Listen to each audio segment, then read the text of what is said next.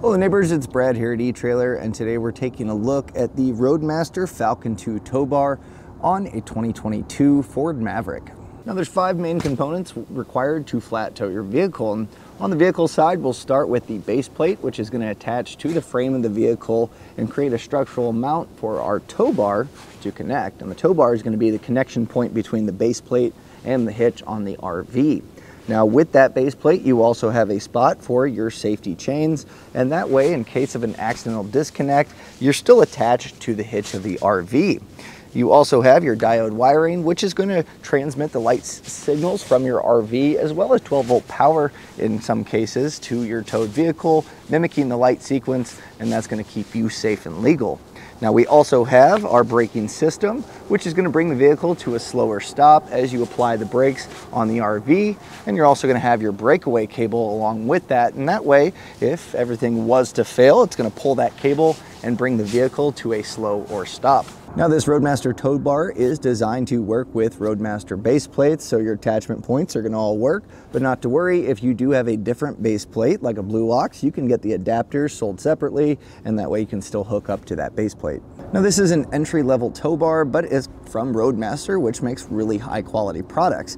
And the one thing that really kind of hinders this compared to maybe some of your other tow bars is this is a binding tow bar. So if you're not on perfectly flat level ground, once you go to unhook your vehicle, these can be pretty tricky to get to release. That way you can draw your arms back. They do sell a separate tool that allows you to kind of pry on these to pop them open. So that might be something to consider, especially if where you go camping might be a little you know, off kilter. It's just gonna make it a lot easier.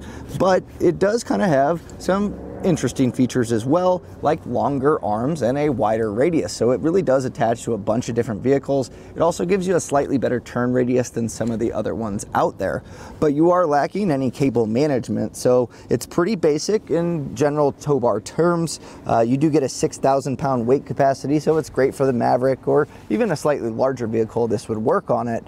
But again, some of your other nicer ones, as you kind of go up the chain, you're gonna get something that might have these included or at least routed through. So that is something to consider. You are going to have to pick up some safety cables. Um, so some of your other ones will come with that. Now, if you are looking to stick with Roadmaster, but really want to kind of move up the level to a really, really nice tow bar, I can't recommend the Nighthawk much more than I already do. It's a really nice uh, tow bar that has built-in lights. It's got cable management. It's non-binding, so you don't have to worry about hopefully getting these to release without a tool. So it's got a lot of nice features. But again, if this is your first uh, step into flat towing, this isn't a bad option. It attaches to our Roadmaster base plate using pins. And this is a pretty easy to just slide in place. And you can see a line here and drop that pin in and that way you know it's locked in place. Now once it's locked, the pin is going to be up and if you do need to retract it, you're going to simply just push this down. But as I mentioned before, it is binding. So again, if you're on uh, uneven surface, it can get a little bit tricky here.